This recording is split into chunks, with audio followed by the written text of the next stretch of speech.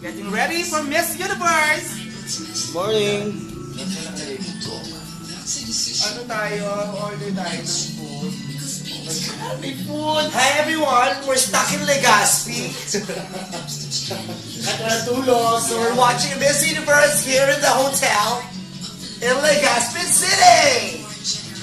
Representing Philippines, go for Rachel Peters!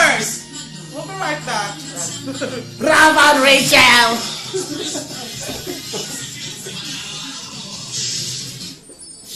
Oh, guys, don't forget to to vote at ready nyo yung mga Twitter nyo. Tsaka yung hashtag na Philippines at Miss Universe. Wala pa din pa-breakfast? Meron nga. Anong breakfast? Itawag mo, hinatid yung dito eh. Hinakatid yung breakfast natin. Ay, isa nga galing ang breakfast. Yung pang breakfast sa taas. Hindi, ano yun? Provided ng production. Oo. Oh, sarap. Yan na natin. Ano lang, may may corned beef, may ano, corned beef, halo-halo eh. May corned beef. Sa palagay mo kung kakakain ako ng corned beef, nung nakita kong ganyan ang buhok ko. na parang corned beef. USA yan! Oo naman. Naligo ka na. Oo. Mukhang hindi, di ba? Kahit walang tulog. Naku, makapanood na kami ng Miss You. Hindi ako nakatulog eh. Ay, Hindi pero sa live naman ni Magica, talagang wala pa naman per ano per continent eh.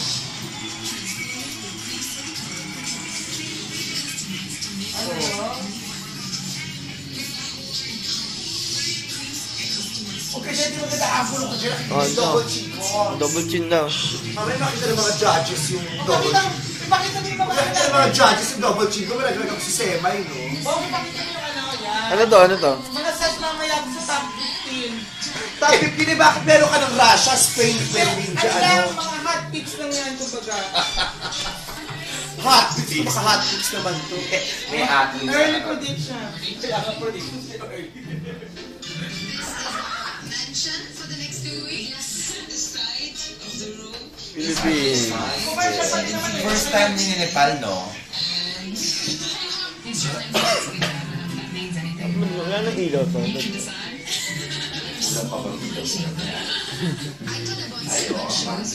Morning, MC. Morning. Wala sa MC.